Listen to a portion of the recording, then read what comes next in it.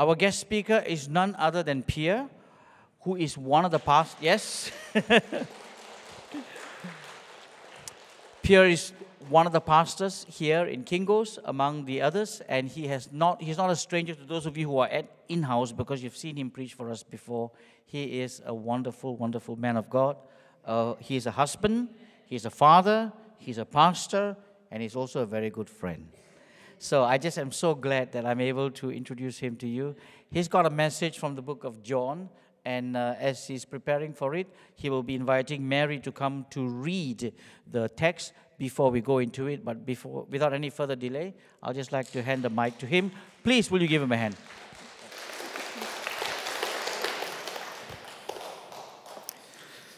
Thank you very much. I would like to return the compliment, dear friend Ravi. We, uh, you, I'd, I'd like to tell you that every Tuesday we have we begin the week sort of. Monday the church is sort of closed, but Tuesday morning we begin the week and we meet up with all, all the employees of the church here. And when we have finished by that, we meet at Anas's office, our colleague Anas's office, and then we can hear somebody laughing and door slamming, and this is Ravi who comes. And we look forward to that. So we laugh a lot, we pray a lot, and we discuss a lot. It's, it's, it's very valuable time. So we spend time together every, every week. And we have grown into not only being colleagues, but into being friends, very good colleagues. And it's, it's a blessing. So thank you very much, Ravi. Next Friday, something fun is coming up. This is uh, this time it is colleague Anas who invites colleague Ravi and colleague Karsten and colleague myself with ladies, with our ladies, uh, to his house for a festive dinner. So we'll, we'll have fun and uh, laugh and spend time together. Yeah, yeah. So this is sort of part of being uh, uh, of being a pastor here. It is this very close relationship we have uh, with each other, for which I'm very grateful. Yeah. Yes.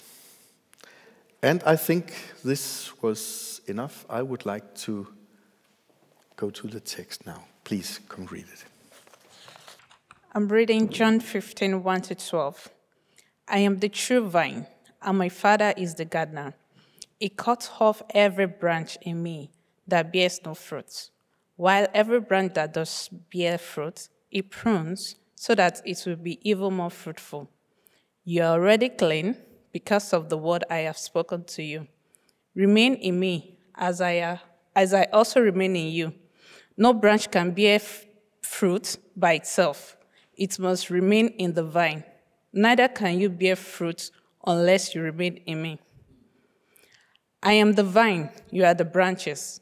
If you remain in me, and I in you, you will bear much fruit. Apart from me, you can do nothing.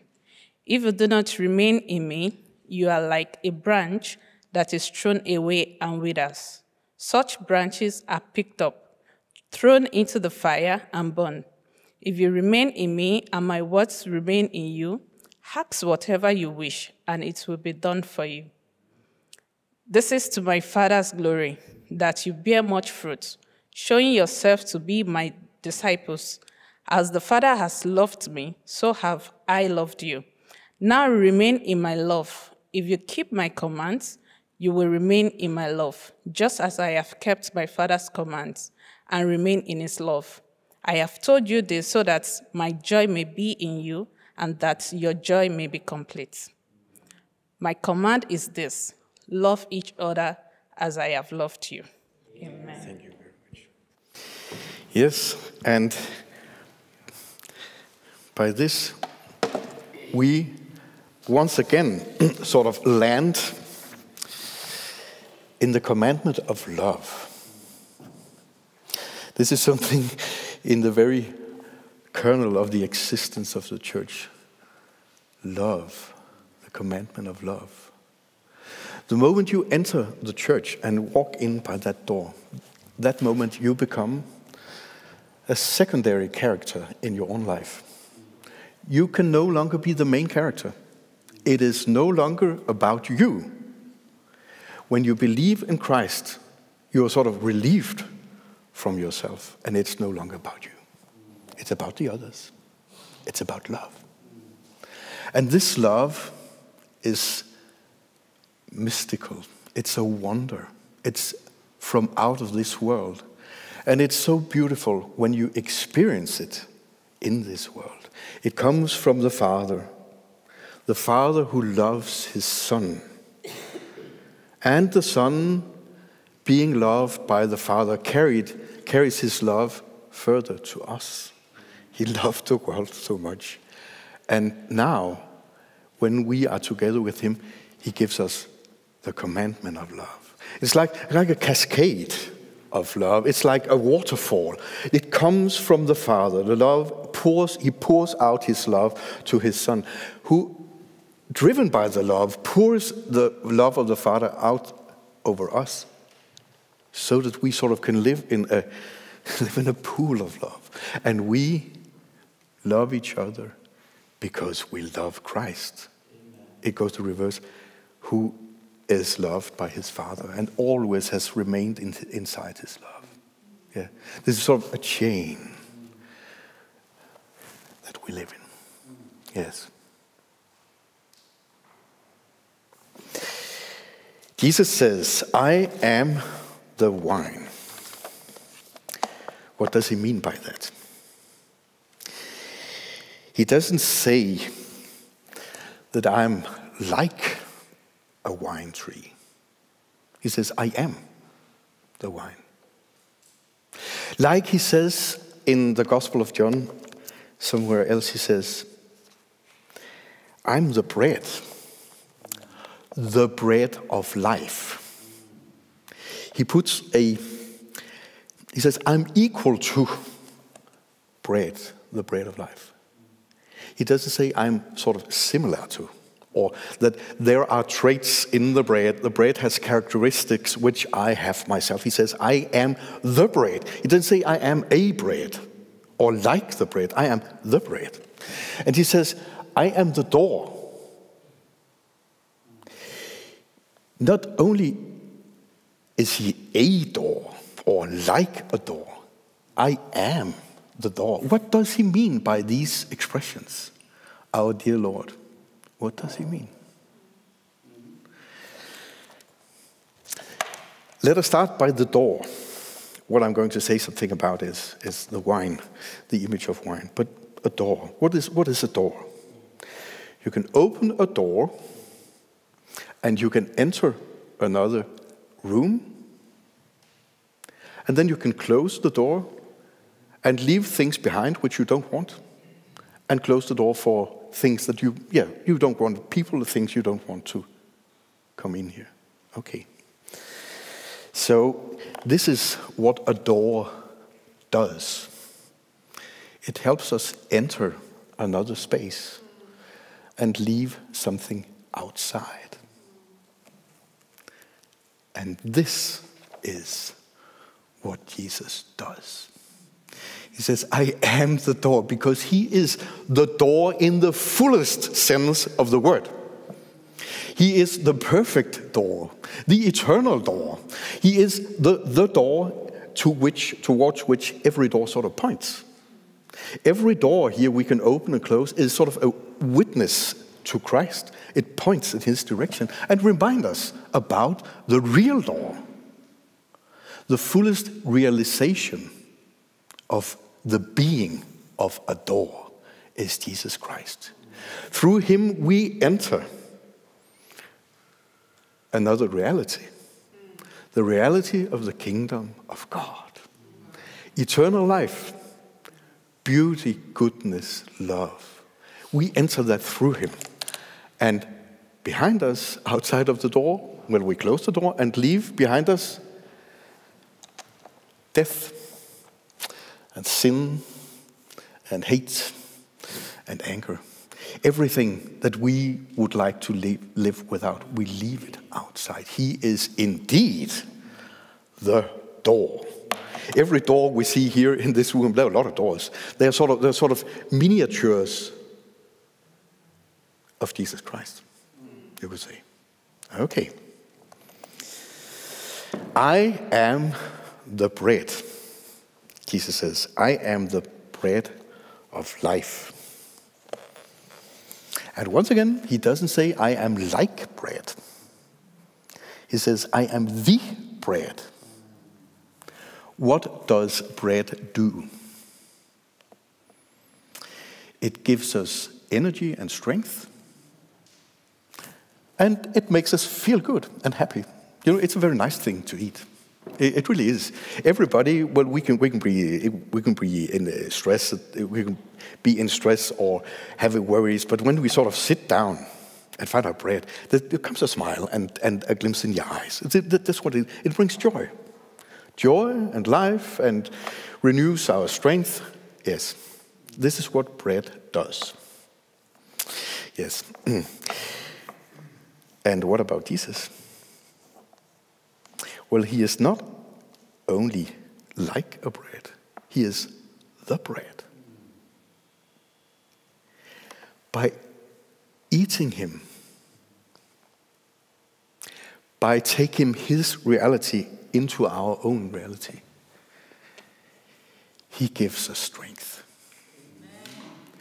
to overcome ourselves, to resist temptations well, He wants to give us that strength.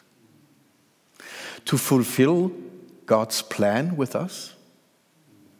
Strength to sort of fill our world, fill out our, our, the role God wants to give us in the world, and contribute to the reality of others, what we have, what God intends us to do. We all have our talents and gifts, right? And God wants us to give them. He indeed is the bread. He is. And he who eats him shall never die. He is the bread of life. Okay. So when he says, I am the bread of life, it's not a, it's not a symbol.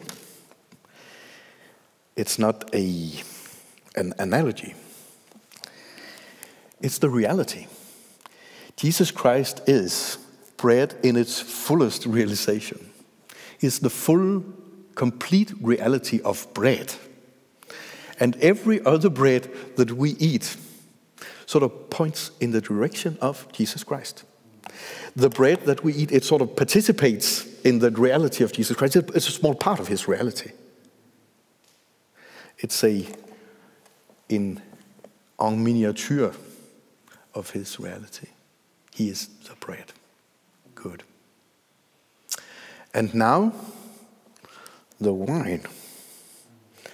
I am the wine, you are the branches. I want you to bear fruit, he says. And once again, he doesn't say that I'm like a wine. He says, I am the What does a wine do to its branches?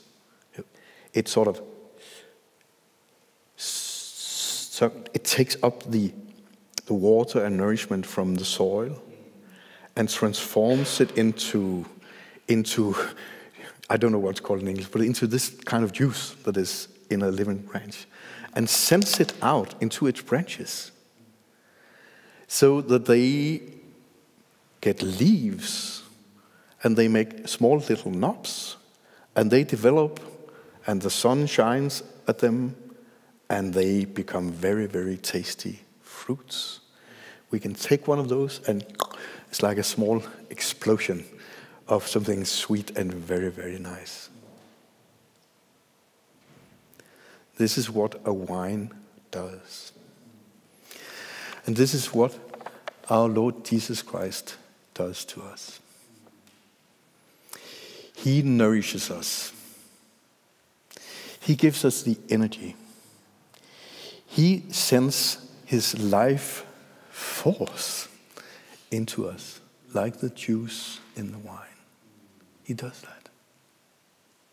So please, stay close to Him, remain in Him, let His word remain in you. Don't, don't let yourself be cut off and, and leave Him. Come on, you can see it, right? A branch which has been cut. Oh, never do that. Never do that. Please remain in His Word, stay close to Him, seek His company, fill yourself with His Word. Go where there are beautiful songs singing to His praise. Be there where He is. And then you will grow and flourish and bear fruit because this is what comes out of it when you are connected to your Lord and Savior Jesus Christ. His energy, His Spirit will live in us.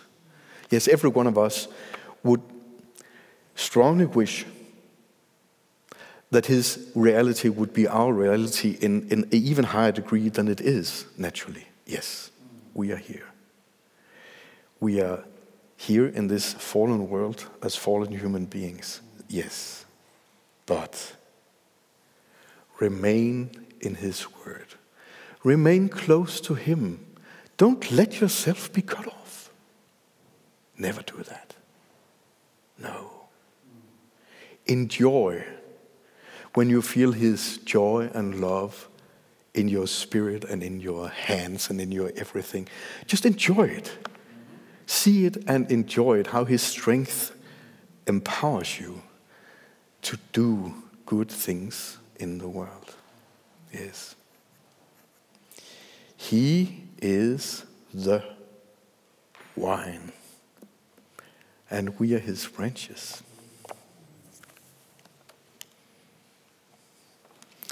By this, I sort of wanted to give you the key to the I am words in the Gospel of John. There are seven so called I am words. Christ tells us that I am the light of the world. I am the good shepherd. I am the way. And now, I think that you are able to reflect on this and to see what he means when he says, I am the way. What is a way? Okay, we have this way, it's a good, and he, he is the way in the fullest sense of the word.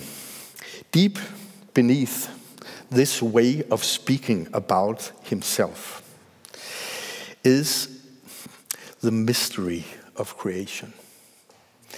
Everything in this world is created by to and from Christ.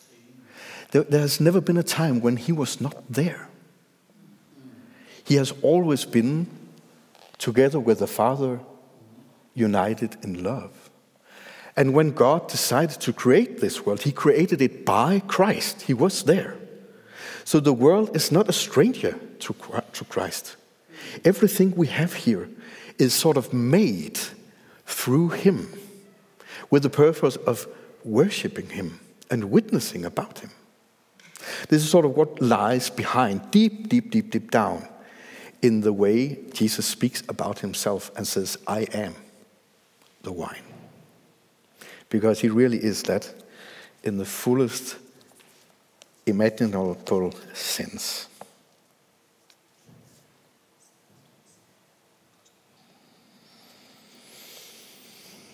So, brothers and sisters, we have a wonderful Savior.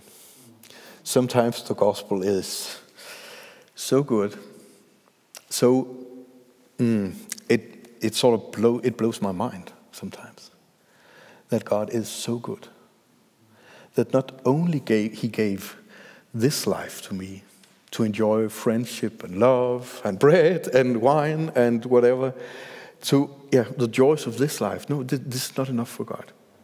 He wants to give us so much more. And He wants us to share in His reality. So He pours out His love over His Son, who brings His love to us. And because of His love to us, took away all our sins and gave us a new birth by the Holy Spirit and planted the seed of love into our hearts. Yes. So let us live in love, love each other. Let us be very patient with each other. Let us be willing to learn from the others. How do I best love you? This is a very good question uh, to ask your spouse, if you're married, or your friend.